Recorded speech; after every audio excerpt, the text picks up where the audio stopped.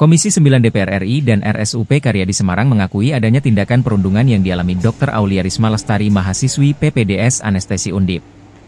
Terungkapnya tindakan perundungan tersebut selepas perwakilan Komisi 9 bertemu dengan sejumlah pengelola RSUP Karyadi.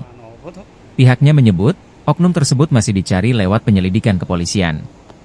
Selepas ditemukannya adanya perundungan, bakal dilakukan evaluasi dari proses seleksi yang dilakukan bersama instansi pendidikan. Pihaknya menjamin selama proses penghentian sementara tak akan mengganggu proses pelayanan rumah sakit. Teman-teman dari Karyadi untuk bisa mengklirkan masalah ini supaya uh, kasus perundungan yang mengakibatkan ada yang meninggal itu bisa bisa clear. Tapi itu adalah ranah kepolisian. Kita tidak tidak berada di sana. Nah, yang kita uh, tekankan kepada Undip maupun Karyadi adalah bagaimana rumah sakit Karyadi maupun uh, Undip bisa melahirkan ya PPDS PPDS-nya yang memang sesuai dengan kapasitasnya.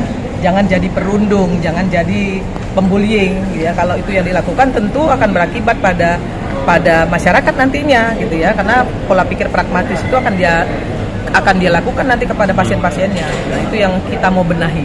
Dan tata kelola ini harus dibenahi dan ini menjadi pelajaran dari seluruh rumah sakit Indonesia. Dan saya berharap rumah sakit Karyadi menjadi role model bagi Eh, kasus-kasus uh, ini ya. Dan saya yakin Rumah Sakit Karyadi bisa kok melakukan itu.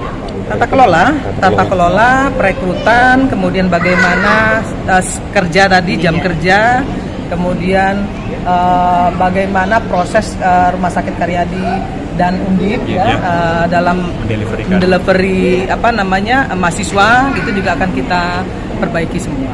Makanya kita hadir supaya ini kita dudukkan bersama siapa yang punya tupoksi, siapa yang punya punya anu ya punya kewenangan.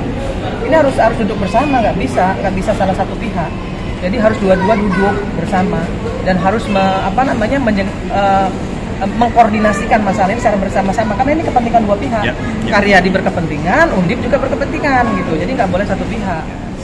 Jadi semua rumah sakit Kementerian Kesehatan dengan semua fakultas-fakultas kedokteran itu pasti menjalin kerjasama dengan rumah sakit-rumah sakit yang untuk wahana tempat PPDS tadi belajar.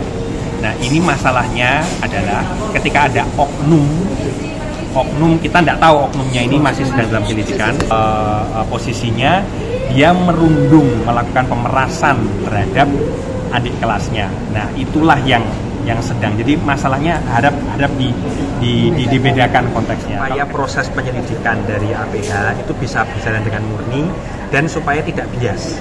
Jadi proses pendidikan di Karyadi itu yang dihentikan sementara, tapi tetap peserta didik dapat melakukan proses pendidikan di luar Karyadi kira-kira begitu. Jadi prosesnya dibukukan itu sampai kapan? Nah, sampai nanti APH atau dari proses kepolisian itu menemukan hasil dari siapakah yang melakukan pembelian dan itu sudah di apa diberlakukan tindakan yang sepanasnya. Kalau saya saya bisa berkomentar itu se, karena menghindari konflik of interest. Dokter Yan sebagai dokter pemberi pelayanan kebetulan beliau menjadi dekan. Nah, dua posisi ini kan konflik of interest. Beliau berdiri di sebagai dekan di institusi pendidikan, beliau juga sebagai dokter. Supaya proses penyelidikan ini supaya bisa baik, kita pun juga sudah bertemu dengan dokter Yan dengan dengan apa legatis juga. Maka pelayanannya itu dihentikan dulu prakteknya di sini. Tapi beliau tetap bisa berpraktek di luar karedi. Harapannya supaya proses pendidikan, proses pembelajaran itu menghindari konflik of interest. Kalau dengan ruang OK, dengan kalau dengan ruang OK, ruang operasi dengan dokter spesialis yang ada, secara jam shift masih cukup. Berapa mas dokternya Berapa? memang mas? Cukup. Kita dokter spesialisnya masih sesuai dengan kamar OK-nya, masih cukup. Kalau itu mas? Puluhan belasan? Uh, puluhan. Seperti kita ketahui bersama bahwa istilah 24 jam itu sama seperti hanya instalasi gawat darurat 24 jam.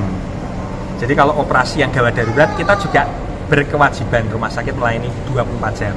Tapi kalau operasi yang berjalan 24 jam itu tidak ada. Jadi maksudnya 24 jam itu bukan kita bekerja 24 jam terus, tapi kita melayani kalau ada kegawatan anytime kita layani. Jangan lupa follow, like, dan subscribe sosial media Tribun Jateng. Download Tribun X sekarang. Menghadirkan lokal menjadi Indonesia.